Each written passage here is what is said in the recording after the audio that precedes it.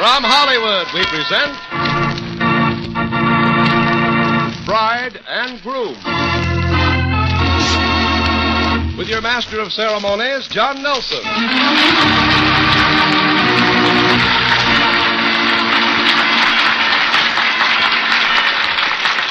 Thank you very much. Thank you, and good afternoon. Well, it's a lovely, warm summer day in California as we greet another bride and groom wedding party here at the beautiful Chapman Park Hotel on Broadwilshire Boulevard.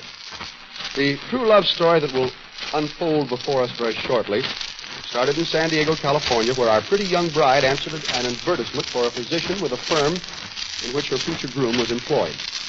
Although she might have expected to get the job, she certainly did not expect to get a husband out of it, but actually she got both. And incidentally, this young couple was chosen as the most typical young American couple by officials of the San Diego County Fair from that area and sent here, so I think you can see that they'll have a grand story and be wonderful youngsters. But we'll hear this from them, the story of their romance, just before they go out through the garden here to the old chapel where the clergyman waits. Right now, Jack McElroy. Every day, more and more people are learning the truth about dandruff, are discovering that to get real relief from the most common kind of dandruff, they must destroy the germ called Pityrosporum ovale, which many outstanding authorities say is its cause. You see, merely washing or brushing away loose dandruff has no effect whatsoever on this germ. But one thing that does work is double danderine. For double danderine gets at the cause and destroys it. Actually kills this germ on contact. Even in severe cases, results with double danderine have been amazing. And the reason for double danderine's astonishing effectiveness is this. It contains a special ingredient, an active antiseptic so remarkably efficient many hospitals use it. In double danderine, we call it Alzan. So stop trying to combat this dandruff with ineffective methods that actually are no better than plain water. They can't compare with double danderine. For double danderine destroys the cause. Now remember, if you're not completely satisfied, return the empty bottle and you'll get your money back. Get double danderine today.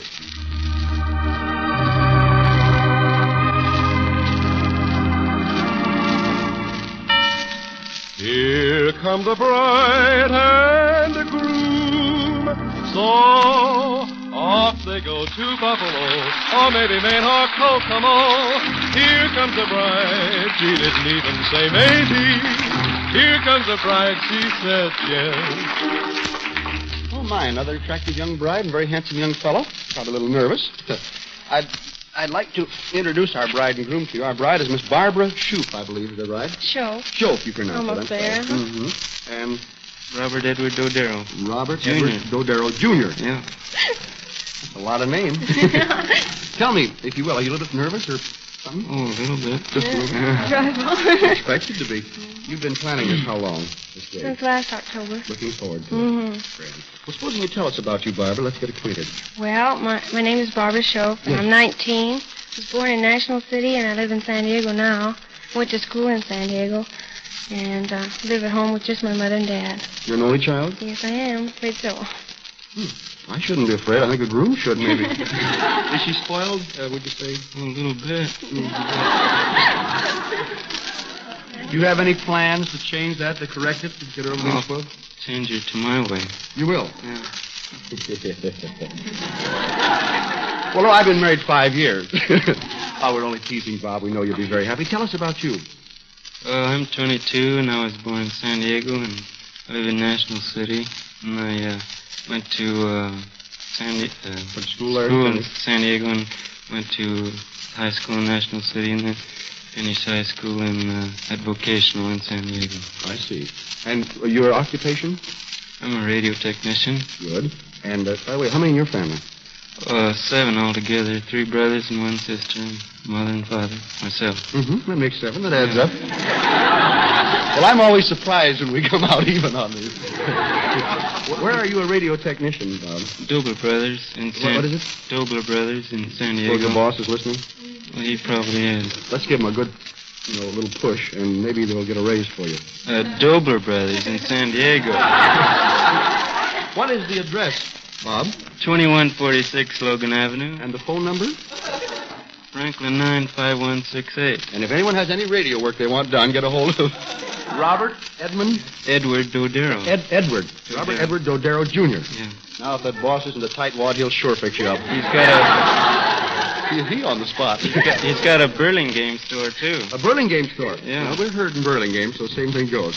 Well, enough advertising for the moment, or our sponsors will wonder who's playing for this program. But we wanted, of course, hear your love story as much as you care to tell us just before you go out and sort of say your wedding vows out in the chapel. So mm-hmm. who's going to start off? Oh, I'll let her. You have the honor. So well, thank you. Go ahead, Barbara. Well, uh, it was very interesting. I went to. oh, Uh, I'm sure it was. and it's still going to be more interesting. So how long ago did this all happen? uh, it was last July. I see. And uh, it's just a year ago. I went into Dobler Brothers. I was going in to apply for a job there, and uh, a very cute-looking boy was coming out at the same time. It was a terrible crash. And we bumped into each other? yes, head-on collision. And uh, well, we both backed off and said, "Pardon me," and went on our way. But it sort of made an impression on both of us, and Yes, a horrible crash like that probably certainly was. Yes? So? And, uh, well, I guess Bob or Ed, I call him Ed, uh, persuaded the boss to hire me from the, Wait a among the minute, others. let- Is that right? You got the job? Uh-huh. Oh, you, yes. You, uh, I did a little bit of talking to help her out. Uh-huh. I didn't know her though. You what? I didn't know her though. But you knew that if she got the job, you could get acquainted. Uh-huh. You weren't trying to do the boss a favor. So you, you got the job right away. Yes, uh-huh. And you went to work there. What Yeah. department did you work in? In the record department, and, uh, well, once in a while I went to the radio department because he was in there. It was much more interesting in there. Well, you what? What is your department again? Radio department. Tech- repairs and so on. huh? Yes. And you had some problems with repairs I that you had done to go ask him a few questions, you know. Mhm. Did you have much business in the record department? Once in a while I had to get scotch tape, you know, hold things together. There goes that raise. Boss will find out how you two been carried on. Come on, Good, now. good. Well, anyway, so you worked there. How long was it before uh, Ed, as you call him? May I call you Ed? Is that That's right? right. I'll call you Ed, Reverend Bob. How long before Ed got around to asking you for a date, since that's what he had in mind in the first place? It was just a week later, and uh, Did, he you, was. get, did you get the date? No. well, uh, the reason was that I said yes, and we were all set to go. And my parents were on a vacation in L.A., and I remembered I had to go home and water the lawn of all the horrible things, so I couldn't go. Feed the cat. Yeah, feed the cat. but he wouldn't. I don't think he believed me. I think about a week ago I convinced him that that was the truth. I think he thought I had a date with someone else. Did you think that, Ed? No. Honest? Honest. Good cross your heart? well, we settled that problem. That'll never come up again. Yeah, so anyway, uh, how, did he ask you again? Oh yes, uh huh. He asked me the next uh, for the date the next Saturday, and I already had a date, and so we couldn't go out then. Well, you sure had trouble getting started, didn't you? Well, and then the next week he asked, and he said, "No, are you sure you can go? You can't think of anything you have to do." I said, "No." So we shook hands on it, so it was a date. It was a date. Uh huh. Where'd you go? Well, we went to uh, downtown and ate, and went to to a show, and it was uh, oh, I don't know, a comedy show, and we sat there and laughed, and we discovered we both, yeah, Bob Hope. Monsieur Beaucaire. Monsieur. Bob Hope. and- That's a Paramount picture, I believe. Mm-hmm. To be a good one. But anyway, I just wonder, I'm amazed at you two remembering a picture for a whole year, Oh. particularly when you were sitting so close together. Uh-huh. But we discovered. Did you hold hands in the movie? No. No. He put his arm around the back of the seat, but that was all. Looked a little disappointed about it. no, it was all right. I, so then you had some to eat and went home. hmm Did you ask her for another date soon, Ed? Well, yes, but the next week I asked her to uh, go out and we went uh, ice skating. Mm-hmm. Well, then your third date was another week apart? Yes. Only uh-huh. one date a week? Well, uh, it got going so we had two dates a week. How soon did you start going at two dates a week? Third week, I think. And then when did it get even, even more steady? When we were going um, Wednesday and Saturday. Mm-hmm. And Sunday, too. We started Yeah. going out three times a week, but we couldn't go anymore because we had to work, and the boss didn't like it if we had bags under our eyes every day. You know, we're learning more about the boss down there, Dobler Brothers, than about everybody else. Well, anyway, so, so when did you start going steady? Uh, in September, it was uh, 18th of September. about three or four Mhm, months. That's right. Tell me, if you will, please, on which date? This is very indicative. I mean, because youngsters that are, are so attractive from the beginning that he turns his business upside down to get near you. Uh, on which date did Ed first try to kiss you? Well, uh, it was in September too. I mean, He didn't didn't no. try to kiss you from Uh-uh. July to September. That's right. I guess I would have went in before, but I think he wanted to make up his mind. It meant something to him, and I liked it better that way. Sure.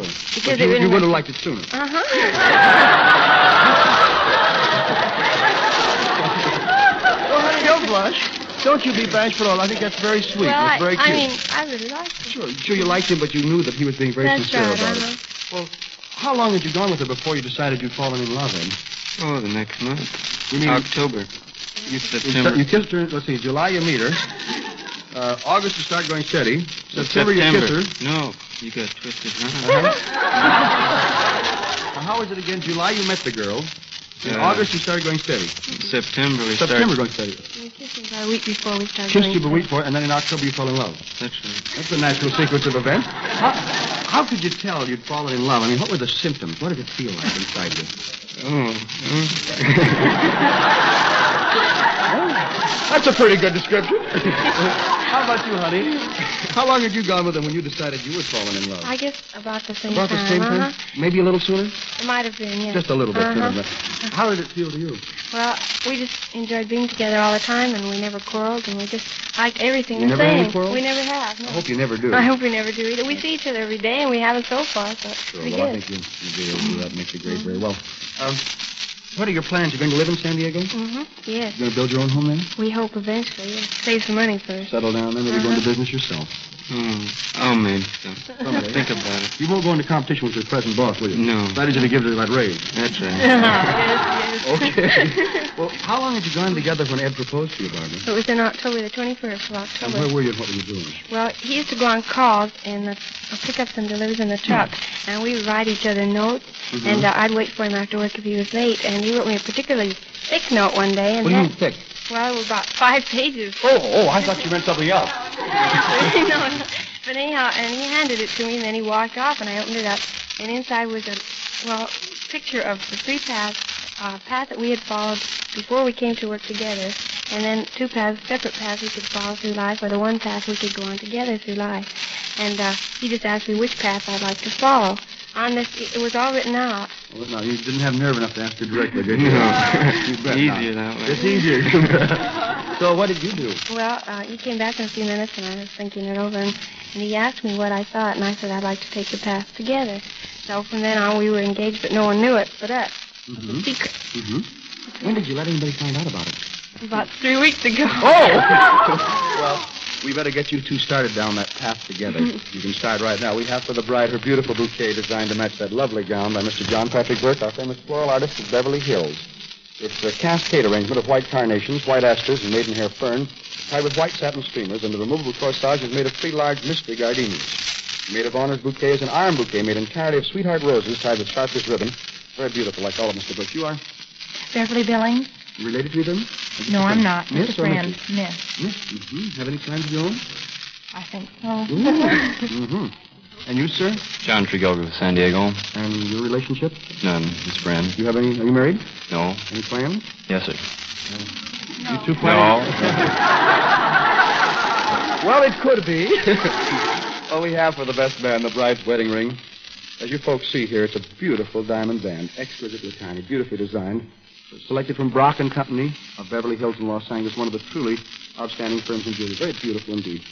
And selected by a bride, and it will be very beautiful a finger. Yes, do you have on something old? Mm-hmm. And you? Yes, Borrowed? Yes. And blue? afraid so. yes. Always prepared for me. In your shoe? Yes, uh-huh. You do have, you got everything in. Uh-huh. And the name of your love song? It's known forever. Now and forever. Mm-hmm. Well, that's what it'll be, because you're starting down that path that he asked you about right now. And as you do, I'll go down the path, leads to the altar, at these beautiful grounds of the Chapman Park Hotel. Jack McElroy sings their love song. Now and forever is the love we share. Now and forever, here and everywhere. One star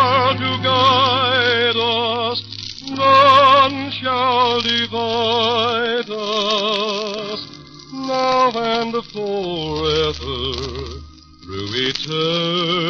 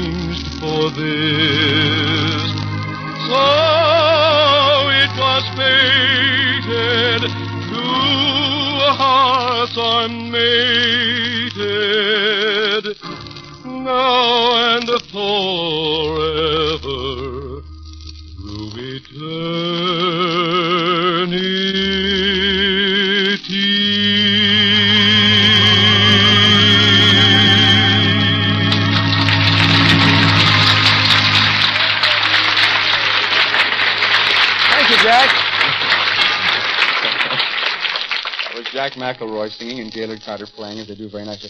Well, since this young couple were selected from in competition with all the other young couples in San Diego County to- as the most typical young American couple in San Diego County, I think they made, did a grand job of selecting, don't you? You betcha.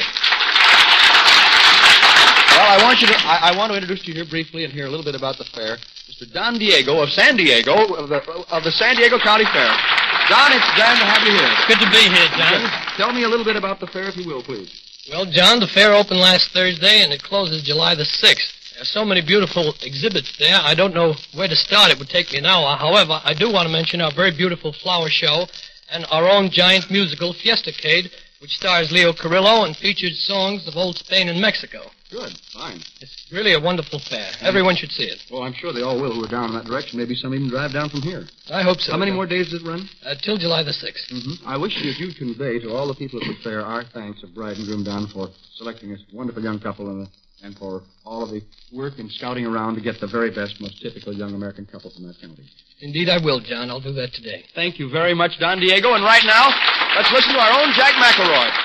If you seek business or social success, remember that mouth acids are constantly at work trying to spoil your appearance. These acids are present in everyone's mouth, and many leading dentists explain that they're a major cause of tooth decay. Now, you can't combat mouth acids with top efficiency by using a toothpaste that simply cleans teeth and sweetens breath. Any toothpaste will do those jobs. But one toothpaste that does more is Phillips Milk and Magnesia toothpaste. Yes, Phillips toothpaste also does the vital job of combating mouth acids on contact, and thus helps guard against decay of your teeth. And it does this because it's made from one of the most effective neutralizers of mouth acids ever discovered. An acid neutralizer whose remarkable efficiency is recognized by dentists everywhere.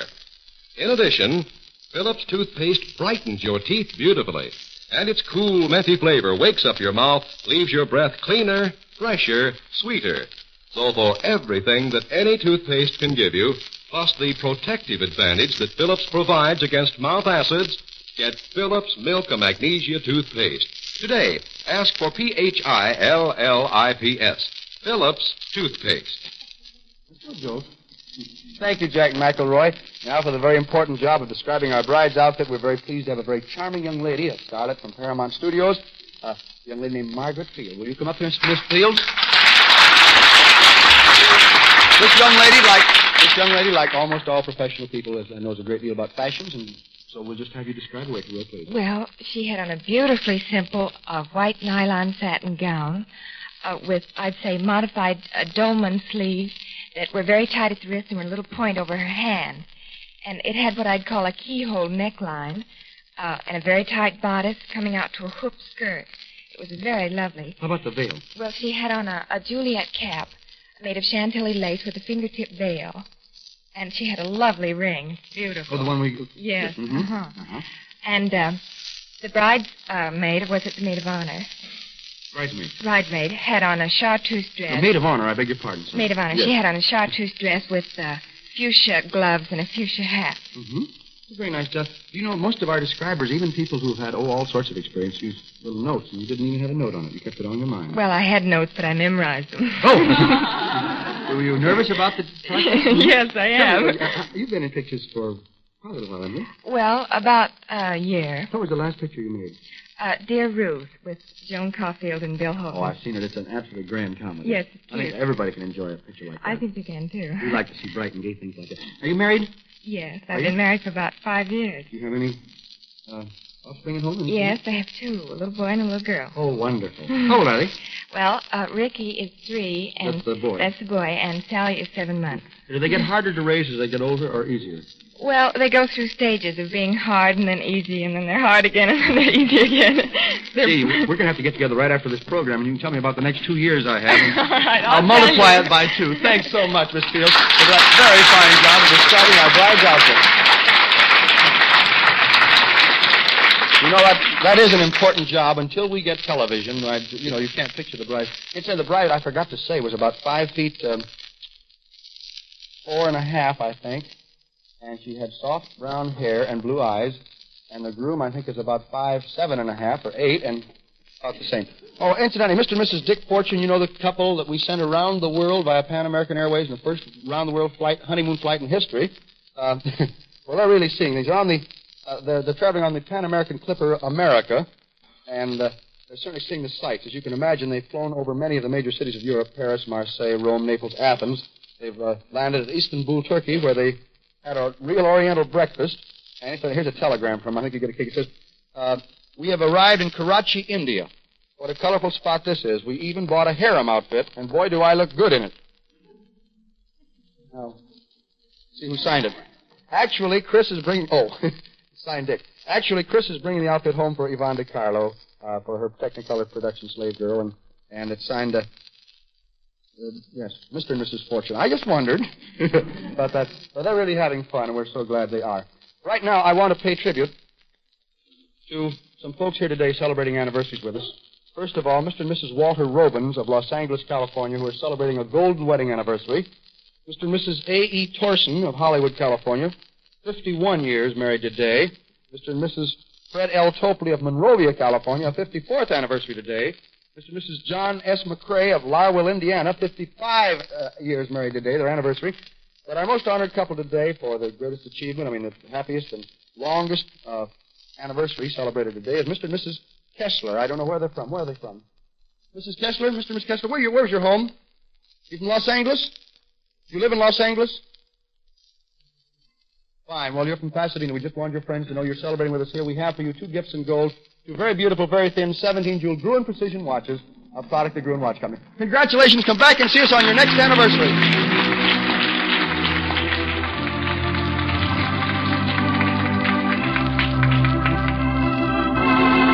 Back from the chapel, practically walking on air. All smiles and not so nervous anymore. It's our bride and groom. Congratulations to you, Ed. I knew you'd make the grade. Would you, would you step right over here? We, have so many lovely gifts for you. First of all, I want you to see this is your wedding album from Bernard of Hollywood in Palm Springs. It has formal portraits and candid shot pictures of everything that took place here today for our bride and groom. To go along with it, so it's a talking picture from Capitol Records of Hollywood, a special record album of every single word said.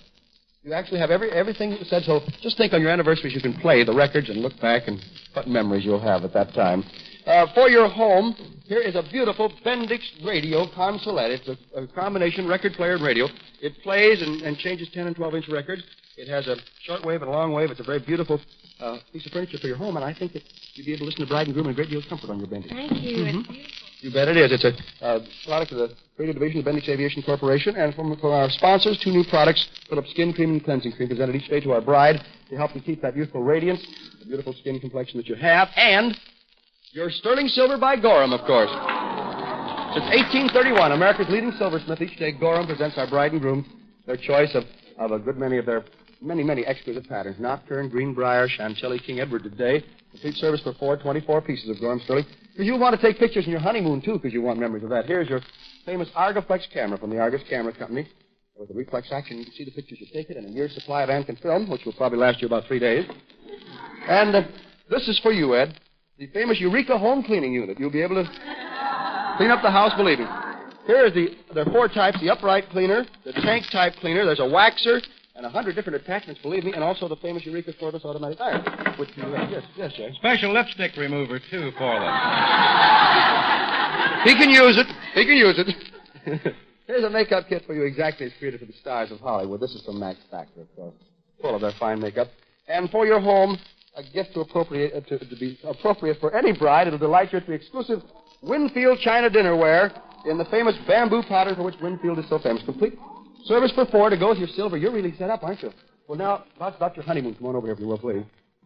Since you are going to be guests of the San Diego County Fair during this coming week, your honeymoon destination is one of California's most famous and most beautiful resorts. You're going to the famous Del Mar Turf and Surf Hotel, which is truly beautiful. You'll be flown down the coast in one of Western Airlines' giant Skymasters to San Diego, where a Tanner Motor Livery Limousine is waiting to drive you there to Hotel Del Mar. Inside the San Diego Fair, you'll be presented at the beautiful Fiestacade show. You'll have dinner at the grounds uh, there, and in the evening there's a special box for you, reserved for you at the National Horse Show. Be plenty to do at the fair, but when you seek privacy, manager Owen Winslow Nichols of the Del Mar has set aside a little English cottage, kind of a honeymoon cottage, just for the two of you. I don't. Well, you didn't think there was going to be three, did you? what? Better not. Well, there isn't going to be. I know you, you two will enjoy sunning in, uh, in the breathtaking gardens. You can play tennis or swim on the long white beach and a beautiful pool down there. And there are many visiting uh, spots of interest nearby to visit.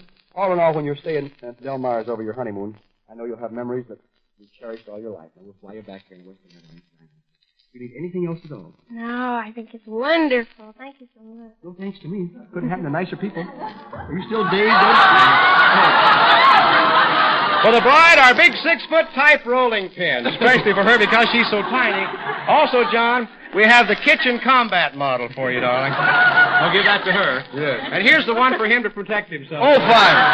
Will you, will you single girls get up here, please? You single girls, you aren't married. Yes, you will be, though, soon. All right, now, when I count three, honey, you toss it. Spread out, girls. Spread out. Spread out. Here we go. One. Oh! That's all right. You're fast. Who are you? Bowling Gary. From where? Birmingham, Alabama. Oh, little southern gal. How, how old are you? 18. You have a boyfriend? Yes. You got him? No. You're just working on it. yes. That's right. Well, good luck to you in your work. We have for you some Hollywood nylon stockings over here. I think you'll enjoy those. Good luck. And incidentally, if you want some lessons from, the, from our bride here, may I have this for the bride? I'd like to give her the bouquet. If you'd like some lessons from her on how to get the groom, why just let me know. Get that boyfriend of yours make up his mind. Right now, as our bride and groom leave on their honeymoon, let's wish them success, happiness, now, a long, happy married life together. Mr. Jack McElroy, see the rest of you tomorrow. Most of us eat too much, smoke too much, or overindulge sometime or another. When you do go overboard, remember that Phillips Milk of Magnesia quickly and dependably relieves the discomforts of acid indigestion which accompany overindulgence. As an acid stomach alkalizer, Phillips is rated among the fastest, most effective known. When taken at bedtime, it works two ways to banish the distress of overindulgence. It relieves heartburn, headachy, upset feeling almost at once. You sleep soundly. What's more, two to four tablespoonfuls of Phillips taken in water when necessary before retiring help you start the day sparkling, refreshed, without that logy feeling. Now ask for genuine Phillips Milk of Magnesia by its full name. That's P-H-I-L-L-I-P-S, Phillips. Caution, use only as directed.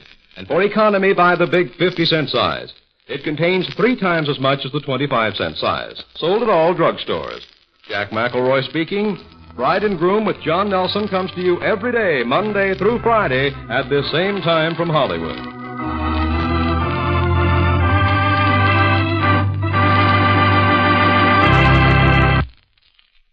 You often tired and pale?